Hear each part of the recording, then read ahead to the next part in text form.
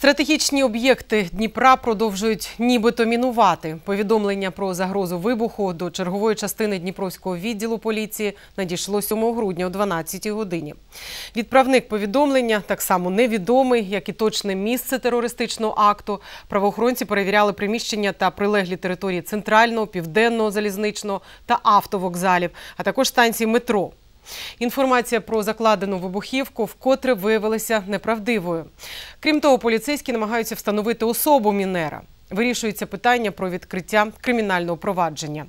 Невідомі вимагали викуп у розмірі 500 тисяч гривень на рахунок е, Приватбанку.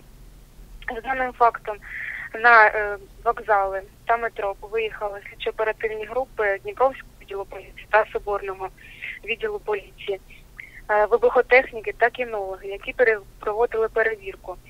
Е, За обстеженням вибухових пристроїв та небезпечних предметів охоронці не виявили.